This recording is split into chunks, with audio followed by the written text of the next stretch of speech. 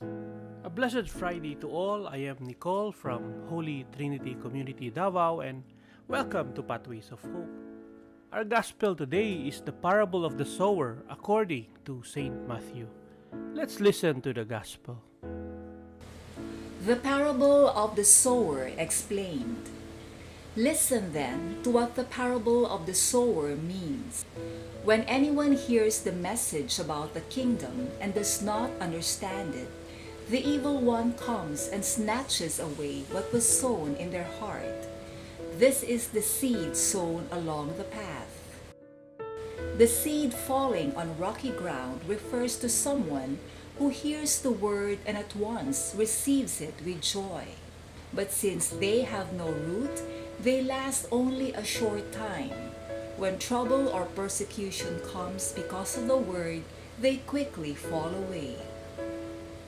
The seed falling among the thorns refers to someone who hears the word, but the worries of this life and the deceitfulness of wealth choke the word, making it unfruitful.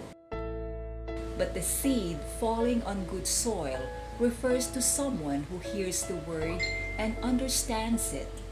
This is the one who produces a crop yielding a hundred, sixty, or thirty times what was sown. The word of the Lord.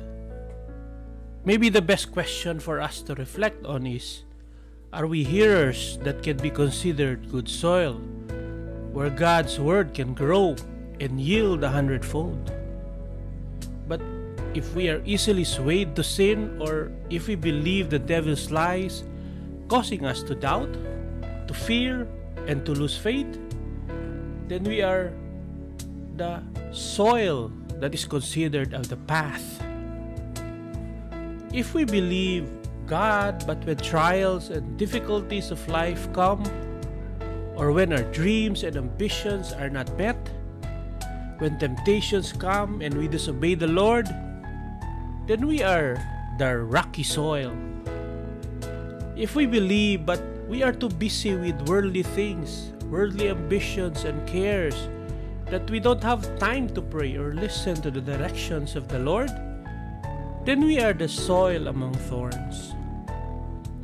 Brothers and sisters, our life's journey is a struggle. It is very difficult to be a good soil. We have many concerns and cares that need our attention. We have many responsibilities. We have our families, we have our jobs and businesses to attend to and this truly distracts us from being a good soil.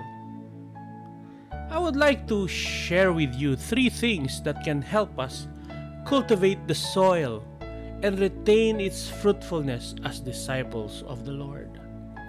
The first is to pray. Let us always take time to talk to the Lord and tell Him about our difficulties, our struggles, and our dreams and aspirations.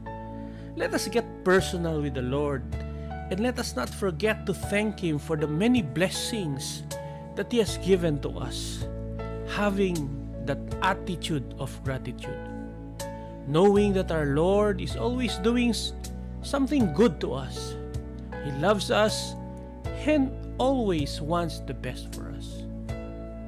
Praying is our communication with our Lord Jesus Christ, and as we communicate with Him, we become closer. And as we become more intimate, we will know Him more and more, and thus allow His grace to be upon us, making us a good soil. The second is to meditate on the Word of God daily. Jesus is the way, the truth, and the life. And all Scripture is inspired by God and is useful for teaching, for reproof, for correction, and for training in righteousness. All things written in Scripture is good for us to guide us in our life. Meditate on them. See what the Lord is telling us in every circumstances of our life. The Word of God is living and it nourishes us, nourishes the soil to yield a rich harvest. The third is to share the Word of God. The first person to be blessed by the Word of God is the one who shares it for he will gain wisdom, grace, and the favor of the Lord. Let us also be sowers of the Word of God. We can do this by imparting what we have learned from the church or seminars that we have attended. We can also do this by living out our faith and be role models for others to follow.